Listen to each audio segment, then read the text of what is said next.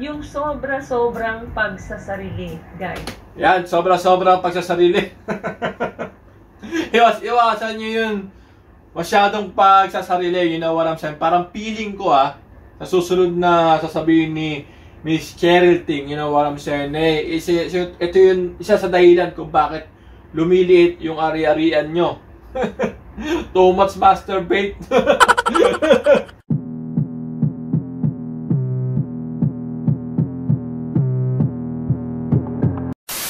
Hi guys! Today, today, today, today, today, today may pag-uusapan tayo syempre bago, bago, bago magpisa. Iinom muna ang tubig. Alam niyo naman guys, pag ito pag-uusapan natin kailangan marami tayong iniinom ng tubig. You know what I'm saying? Shot muna ako guys. Alam niyo naman na sobrang init. Abot singit. Di ba? Sobrang init ngayon guys, you know what I'm saying? So kailangan marami tayong ininom ng tubig, no? Para hindi tayo ma-dehydrate. Yeah.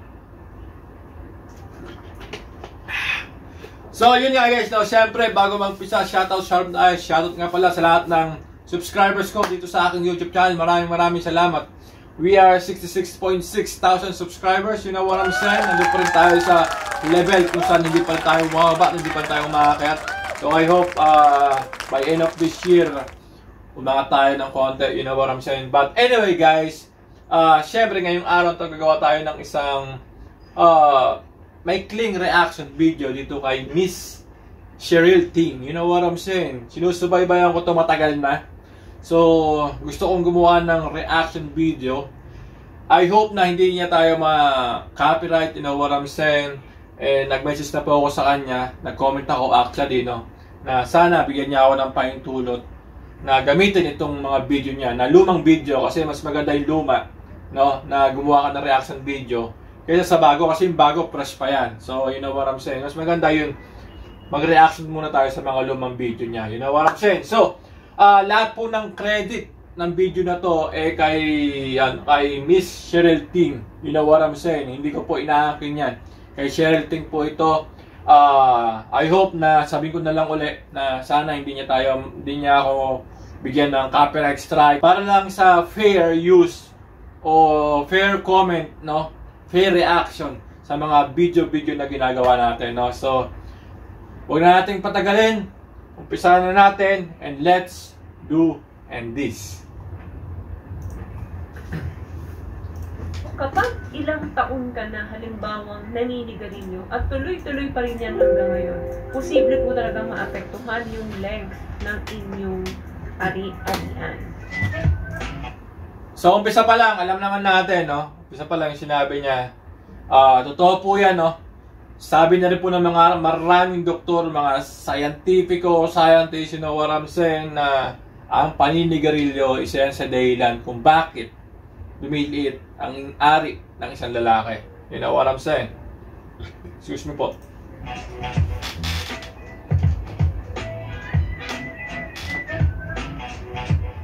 Hi guys! Welcome back to our channel. Kumusta po kayong lahat? Sana ay nasa mabuti po kayo. At sa mga hindi pa po nakakakilala sa akin, my name is Cheryl. At kung bago pa lang po kayo sa channel na to, pwede po ba makahingi ng isang favor. To please consider to subscribe to our YouTube channel. Yeah, subscribe! Subscribe to her channel, you know what I'm saying? So, ang subscriber niya po is 761,000. So, paabutin po natin ng 1 million to, no? O higit pa para makuha niya na yung gold plate. You know what I'm saying? So, more power is Cheryl Ting. Maraming maraming salamat sa'yo. Just click the subscribe button po dyan sa baba. At huwag niyo na rin pong kalimutan i-click ang ating notification bell para in case may mga bago po tayong video is mabigyan po kayo ng notification ni YouTube. And for today's video guys is may gusto lang uli akong sagutin na tanong. Request po ito. Sabi niya, Miss Ting, may tanong po ako. Bakit po 8 years ago, size 6 ako? Pero ngayon, naging size 4 po ang size ng ari ko.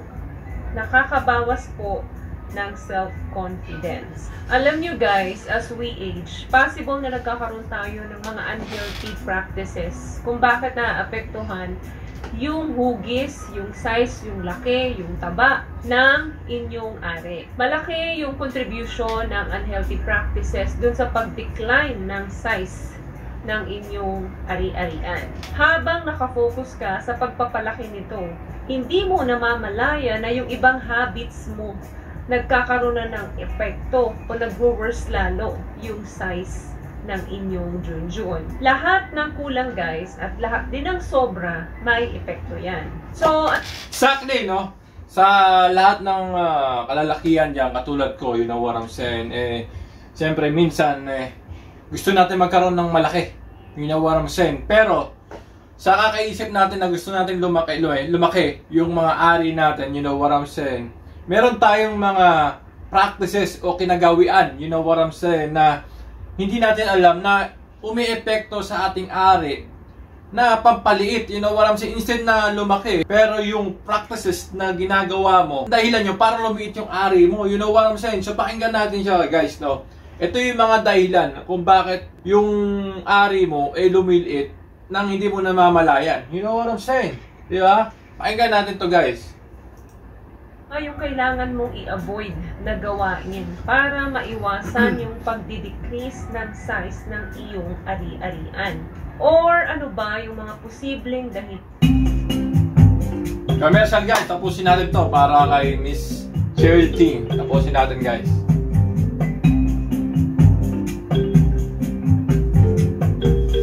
Commercial. commercial. Ah, ganyan lang yung commercial. Ah. skip na natin. Tapos na eh. lan ng pagdidecrease ng size nito. Number one guys, weight gain or pagdagdag ng timbang. Kung noon is nasa 65 kilos ka lang, baka ngayon is nasa 90 up kilos ka na. Yung pagkain ng mga unhealthy foods like fatty foods or mga fast foods, junk foods, or any soda, matatamis, yan yung mga dahilan kung bakit Yun nga guys, no, ah, para sa akin, no, marami ring mga kaso yung ganyan na, for example, ah, ikaw ay mapayat. Siyempre, pag mapayat ka, medyo may kalakihan. Pero pag medyo tumatanda ka na, kunwari, may age ka na ng mga 30, 30 plus, 40 plus, you know what I'm saying?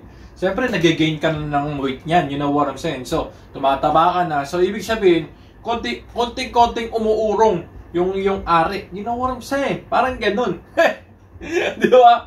And then, siyempre, meron ka ng mga practices, mga habit na ginagawa na hindi mo akalain o hindi mo alam. Dahilan yun para lumiit ang iyong ari. Katulad ng pag-iinom, paninigarilyo, know what. And then yung sabi ni Ma'am Cherry, Cherry Ting, you know what I'm saying? Yung mga pagkain ng mga junk food, unhealthy food, you know what I'm saying? So, ayun yung mga dahilan o isang dahilan kung bakit umuurong o nagdi-decrease ang ari ng mga lalaki. So, kailangan iwasan natin yan, guys. Di ba?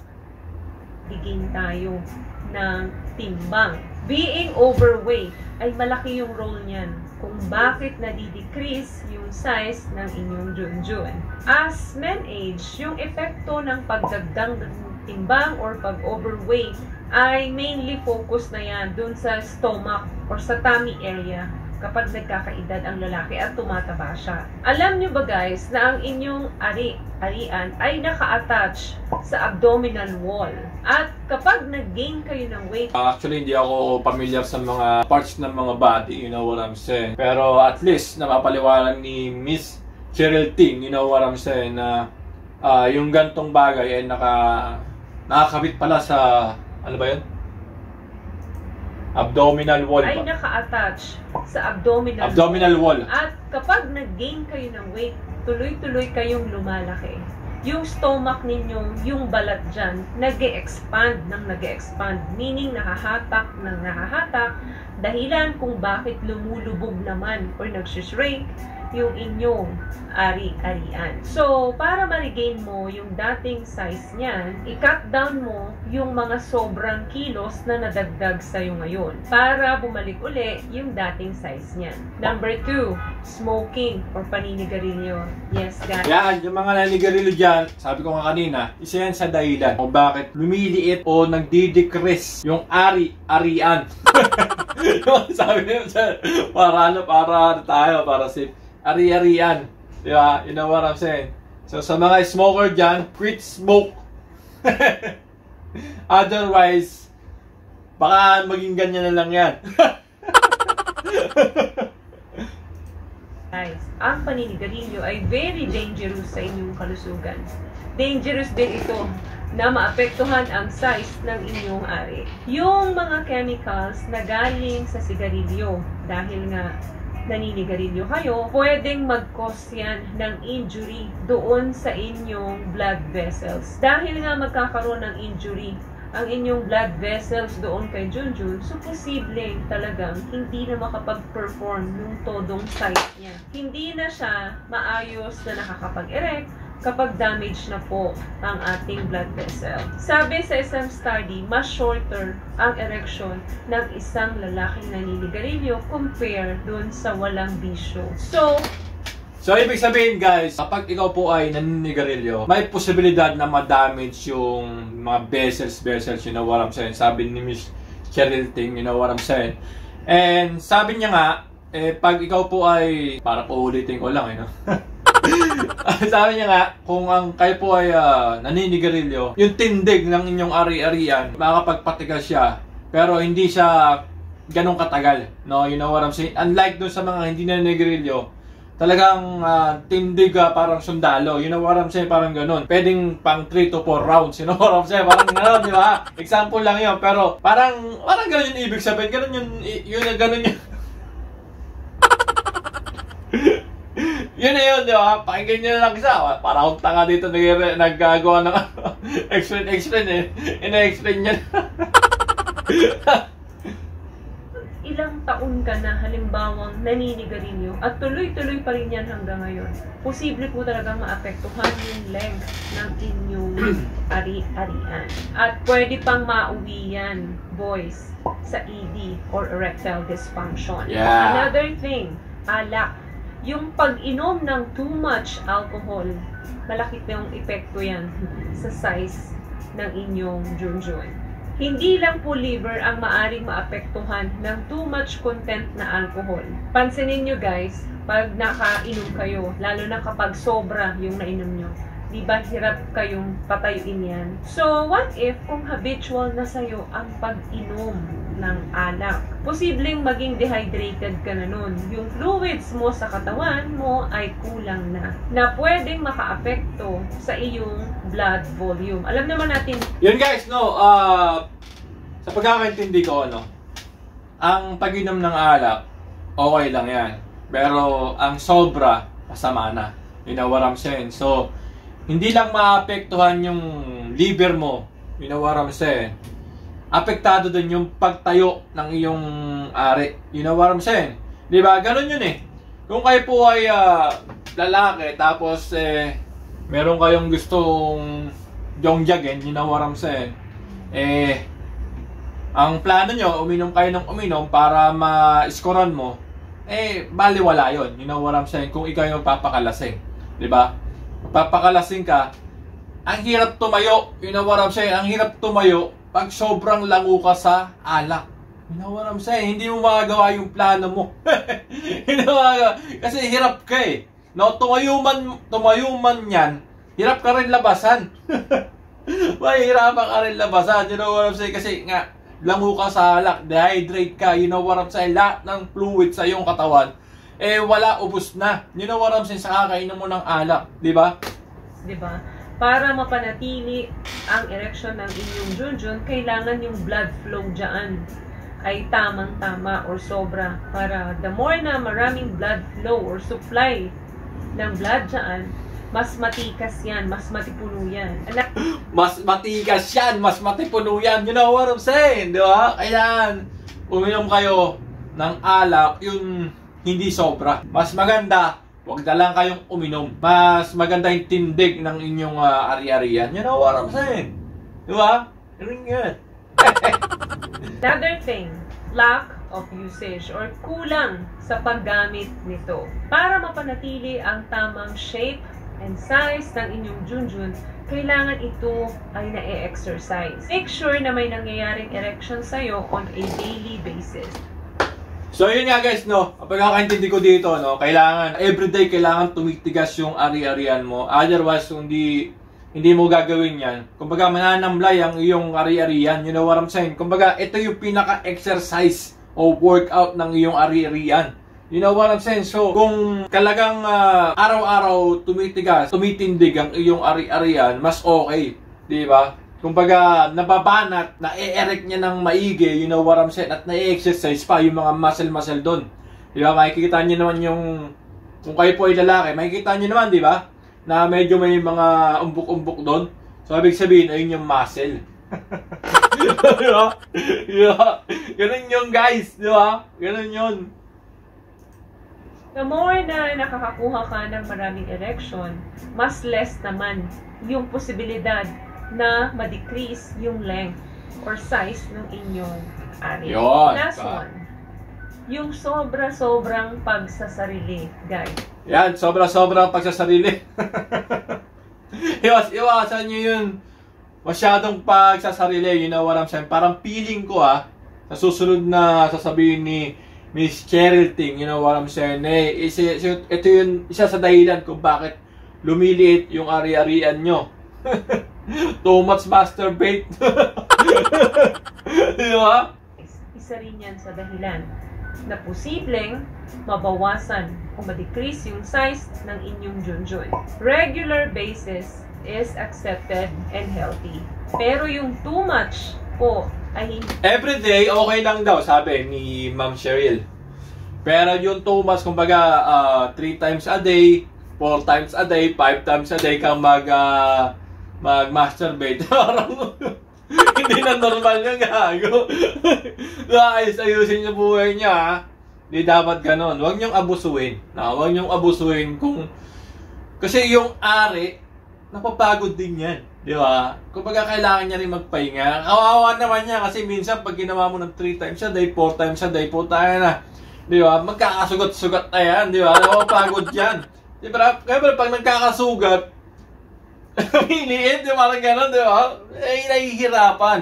So, kailangan, i-ano mo siya. Kumbaga, alagaan mo. Di ba? Huwag mong abusuhin. Di ba? You know what I'm saying? Di ba? po nakakabuti. The fact na nag-ejaculate kayo or nakakatapos kayo, yung body testosterone ninyo ay nagdi-discharge yan. Kung sobra-sobrang nangyayari to guys, yung pagsasarili, hindi na nagkakaroon ng time or duration na magkaroon ng stock yung in Exactly, no? Kasi yung ano, kumbaga para sa akin, no? Ah, kunwari, naglabas ka ngayon. No? Siyempre, yung parang yung pinaka impakan ng ng mota mo, you know what I'm saying? Eh, nagaan na yan, nagsisirculate. No? Kumbaga, mag-iipon uli. Di ba? Iikot na naman yan. Di ba? Eh, hindi pa nga puno. Na, pilalabas mo na, di ba? May hirapan yung ano, yung ari mo, di ba? May, may yaa naman, pagod na yung ari mo, tapos idalawas mo na naman yan, di ba? Mapagod, di ba? Eh, siyempre, kailangan maging responsable ka sa ari mo. Huwag mong abusuhin, di ba? You know what I'm saying? Di ba? Ayun niya pagkakaintindi ko, no? Yung testosterone sa katawan. Kapag hindi na siya makapag-restock dahil nga palagi or sobra ninyo itong ginagamit, posible po na mag-suffer yung inyong junjun na maapektuhan ang size and shape nito. So, alam naman natin guys na lahat ng sobra ay nakakasama at lahat din naman ng kulang ay nakakasama din. Gawin nating balanse ang mga bagay sa buhay natin. Exactly. Kumain ng tama, iwasan ang paninip. Kaya kailangan balanse tayo guys, no? ulitin ko yung sabihin niya. Ah, kailangan balanse tayo sa ginagawa natin. Ah, kumbaga, ah, okay lang na magsarili ka or ah, gumawa ka ng mga activities na gusto mo sa sarili mo, sa ari-arian mo. You know what I'm saying? Pero dapat, ah, responsible ka. Di ba? Wag sobra, wag din yung kulang kasi minsan excuse me po, pag sobra na kasi nakakasama na yan. eh. Pag kulang naman nakakasama na yan. Dapat balance eh, no? At syempre kailangan, sabi nga ni Miss Cheryl Ting, eh dapat ah, maging responsable din tayo sa mga kinakain natin. Sa, sa mga bisyo natin, you know what I'm saying, kailangan wag natin abusuin yung katawan natin. Diba? Kasi hindi lang katawan yung pinupunto ng ginagawa mo. Kundi yung ari mo rin na apektuhan. Which is ay yung kaligayahan mo. Di ba? Kung kaligayahan mong uminom, pero da- dapat isipin mo rin yung kaligayahan ng junjun mo. You know what I'm saying? Di ba? Eh, mahirap. mahirap pag hindi ka na nakalasak ng kaligayahan. You know what I'm saying? Kailangan ayusin mo buhay mo. Di ba? okay natin. yung iwasan ng pag-inom ng alak at palaging mag-ehersisyo. Iwasan din po hanggat maaari yung mga pagkain na pwedeng makasama sa kalusugan natin. Matatamis, maaalat, and yung mga matatabang pagkain. Nang sa ganun po, mapanatili ang totoong size ng inyong ari at mapanatili ang galing nyo sa performance. Yeah! Ano naman guys, depressing Yeah, galing sa performance. diba? diba? Kasi mas, mas, ano eh, pag, pag, pag healthy ka, mas healthy ka, you know what I'm saying? Eh, mas napapakita mo na yung tunay na ikaw. You know what I'm saying? Kasi minsan, pag meron ka mga bisyo, di ba? Tapos, naapektuhan na si Junjun, you know what I'm saying? Kung kunwari, ah, sa alak, eh, talagang talama ka sa alak, you know what I'm saying? Eh, gusto mong makipag-sex, hindi mo na magagawa yung mga gusto mong gawin kasi hindi na nakiki-cooperate yung junjun mo. You know what I'm saying? Nakiki-operate yung utak mo na gusto mo pa pero yung junjun mo ayaw naman. Di ba? So mas maganda, iwasan mo yung alak, iwasan mo yung paninigarilyo. You know what I'm saying? At magagawa mo kung anong gusto mo, kung anong ikaw, yung tunay na ikaw magagawa mo sa performance na gusto mo. You know what I'm saying? Baka nga sobra-sobra pa magawa mo doon kung hindi ka umiinom, hindi ka naninigarilyo, tamang ehersisyo, you know what I'm saying? Eh, maibibigay mo yung gusto mong ah, gawin. You know what I'm saying? Eh, yung pakita mo yung gusto mo. Di ba? Ganun lang yun. Imagine 8 years ago, 6 ka. Then after noon, naging 4 inches na lang. Siyempre nga naman, magtataka ka talaga bakit nangyayari to. So isipin po natin na meron posibleng mga unhealthy exercise or habits tayong ginagawa. Kaya malaki talaga yung posibilidad na maapektuhan ito. So, yun lamang guys ang video natin for today. I hope may nakuha po kayo yung tips na pinag-usapan natin ngayon. At kung nagustuhan niyo po ang video natin, pakabigyan lamang ako ng isang malaking thumbs up. Comment up, thumbs up. Po nakakapag-subscribe. Mag-comment kayo, mag-comment kayo. I-click ang ating subscribe button. Libre po yan. Once again guys, palagi po kayong mag-iingat at palagi po kayong manalangin. Thank you guys for watching and see you on my next one. Always love yourself and be a blessing. Bye! So, yun nga guys, no, syempre nakakapos na natin yung panonood natin kay Miss Cheryl Ting. You know what I'm saying? Subscribe po natin siya. Meron po siya 761,000 subscribers. You know what I'm saying? So, paabutin po natin siya ng 1M subscribers para maabot niya yung gold plate. You know what I'm saying? Napakalaking achievement yan nga guys. Pag maabot ni Miss Cheryl Ting yan, tulungan po natin siya maabot yan. Dire-diretso lang tayo, you know what I'm saying? And congrats kay Miss Cheryl Ting sa kanyang uh, YouTube channel. Maraming maraming salamat. Kasi siyempre, hindi lang tayo nakakapulot ng magandang al, kundi nakakapulot tayo ng healthy tips. You know what I'm saying? At siyempre, itong video na to, eh, kumbaga, lawakan natin ang pag-iisip natin. You know what I'm saying? Huwag nating sigipan yung utak natin, you know what I'm saying, pagdating sa mga gantong content, di ba? I-appreciate natin yung mga gantong content kasi it's a healthy tips, you know what I'm saying? Di ba? Lawa, lawakan natin yung pag-iisip natin sa mga gantong bagay. Di ba? And syempre, itong topic niya ngayon, eh talagang makakakuha tayo ng mga idea and tips para hindi mag-decrease ang inyong ari-arian o ating mga ari-arian. You know what I'm saying?